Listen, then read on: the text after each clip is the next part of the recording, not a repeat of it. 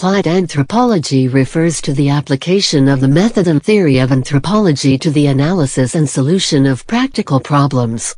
In applied anthropology, domains of application, Kedia and Van Willigen defined the process as a complex of related, research-based, instrumental methods which produce change or stability in specific cultural systems through the provision of data, initiation of direct action, and or the formulation of policy.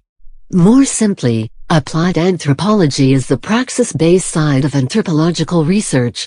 It includes researcher involvement and activism within the participating community. The American Anthropological Association AAA website describes anthropology as a focus on the study of humans, past and present.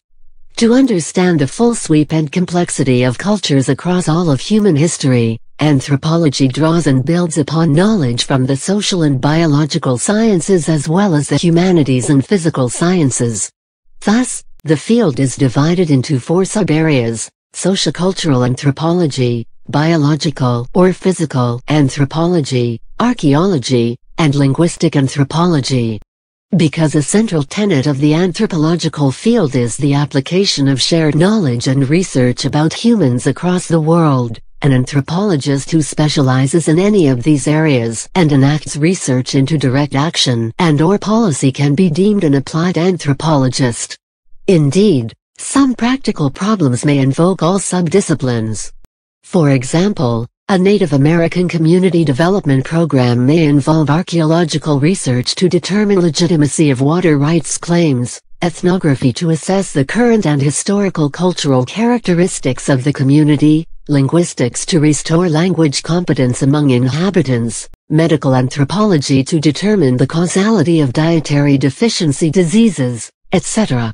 Applied anthropologists often work for non-academic clients, such as governments, development agencies, non-governmental organizations, NGOs, tribal and ethnic associations, advocacy groups, social service and educational agencies, and businesses. It is also not uncommon for an anthropologist to initiate activist work surrounding his or her own area of study.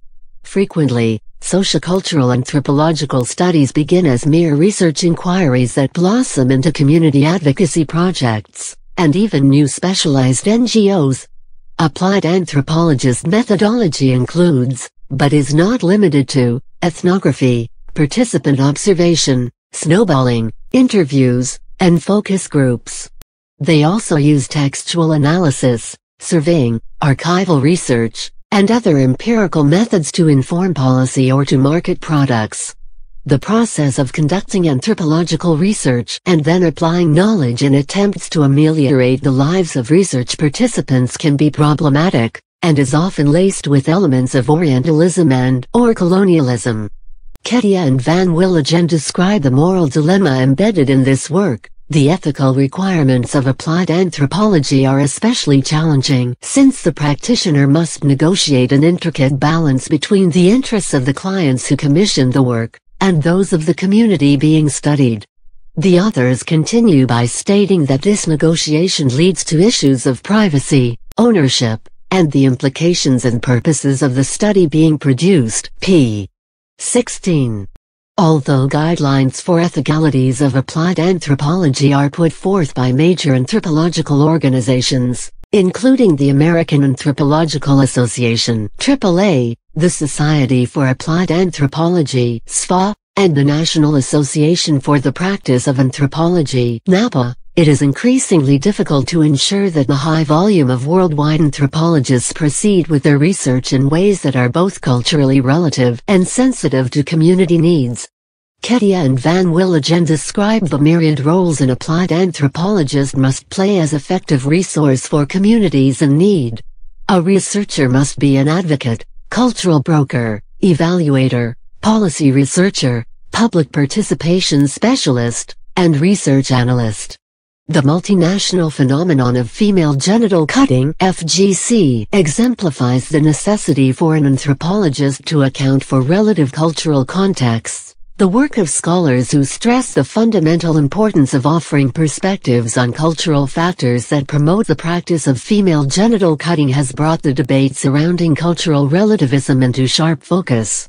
Gruenbaum 1996 notes that analyses that do offer emic interpretations and cultural contextualizations are often criticized as bordering on advocacy for the practice. In these instances, it is imperative that an anthropologist not cloud his or her own preconceived notions about health and gender relations in an attempt to remedy a complex social issue.